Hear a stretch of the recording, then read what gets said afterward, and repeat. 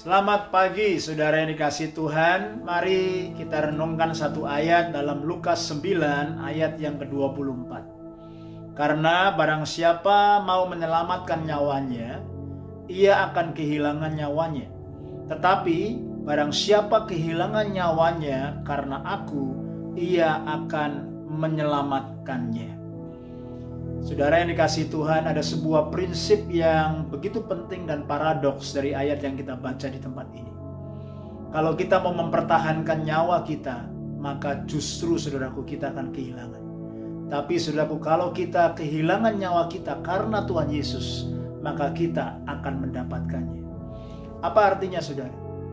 Dari sini kita merenungkan sebuah statement, what is the truly important in our life? What is the ultimate important in our life? Ternyata saudaraku yang paling penting dalam kehidupan ini adalah nyawa manusia. Nyawa kita begitu berharga. Kalau kita pertahankan nyawa kita, maka justru kita kehilangan. Tetapi kalau kita melepaskan nyawa kita, karena Tuhan Yesus, karena rencananya, karena kehendaknya, maka kita akan mendapatkannya. Ini sebuah prinsip yang begitu penting saudara. Ayat yang di bawahnya, ayat ke-25 dikatakan, apa gunanya orang memperoleh seluruh dunia ini tetapi kehilangan nyawanya. Hari-hari ini ada banyak orang yang mencoba mencari bukan seluruh dunia tapi mungkin sebagian dari dunia. Dari materialistik, dari posisi, dari possession, dari performance, semua yang dunia tawarkan, Saudara. Tetapi Alkitab berkata, apa artinya dan apa gunanya kalau orang memperoleh seluruh dunia tetapi kehilangan nyawanya? Di sini sebuah prinsip yang jelas apa yang paling penting dalam kehidupan kita yaitu nyawa. Jangan sampai kita mengejar dunia, mengejar tampak luar, mengejar eksternal, mengejar temporal things, tetapi kita kehilangan nyawa kita.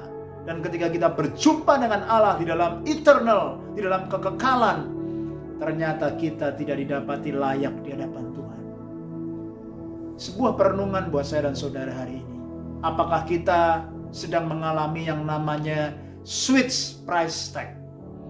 Kalau saudaraku ada price tag yang sedang ditukar hari-hari ini antara yang priceless dengan yang worthless, maka akan terjadi chaos.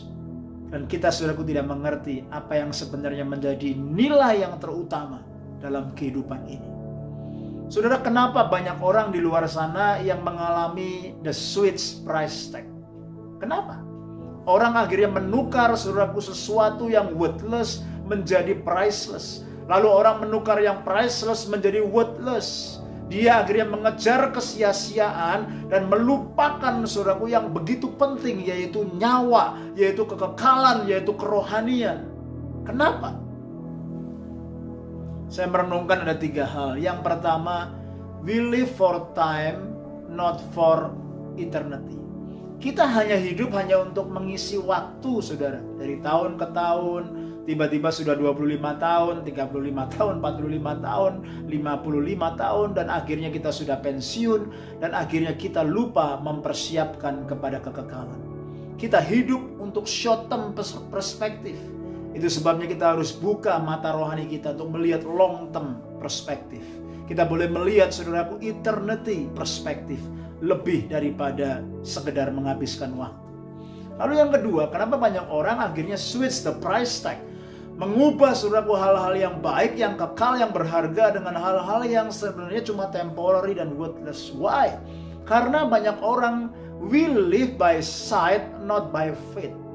Banyak orang dan mungkin saya dan saudara, kita hidup dari apa yang kita lihat bukan dengan iman kita. Kalau apa yang kita lihat secara visi visible, secara saudaraku apa yang kasat mata kita lihat, Alkitab berkata, apa yang kelihatan itu tidak pernah ada yang bernilai kekal. Semuanya sementara. Nah, kalau kita driven by apa yang bisa kita lihat by sight and not by faith, maka itu sebabnya cara pandang kita harus mengalami shifting, harus mengalami perubahan. Dan saya percaya hari ini Tuhan sedang mengajar kita untuk kembali menguji, examine the condition of our heart. Apakah kita benar-benar memiliki sebuah values, values kerajaan Allah, hidup dengan iman, hidup kepada kacamata yang benar, yaitu seperti Tuhan melihat kepada dunia ini. Lalu yang ketiga, sering kali saudaraku kita mengalami saudaraku kesalah kaprahan yang bahasa teologinya dikatakan ontological inversion. Apa itu artinya? Ontological inversion.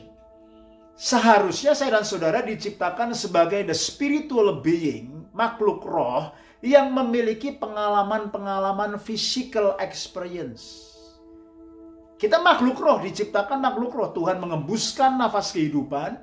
Dan seharusnya kita akan memiliki sebuah pengalaman-pengalaman secara jasmani. Itu esensi kita.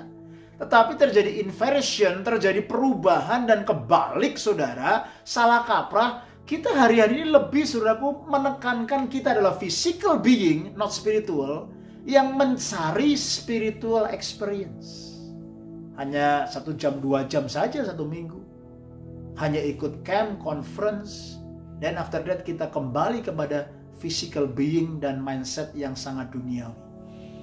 Nah, inversion yang seperti ini karena dosa membuat kita saudaraku harus kembali menata hidup kita, harus kembali menjadi seorang murid yang sejati dan bukan murid yang palsu dan murahan. Itu sebabnya saya mengingatkan kita, mari kembali kepada yang priceless, apa yang paling utama dalam hidup ini, yaitu nyawa. Jangan sampai kita kehilangan nyawa kita dan kita perhatikan sungguh-sungguh dan kita mau memberikan seluruh hidup kita bahkan kehilangan nyawa kita untuk Tuhan, maka kita akan mendapatkannya. Selamatkan nyawamu dan selamatkan nyawa banyak orang di luar sana. Stay strong and stay blessed.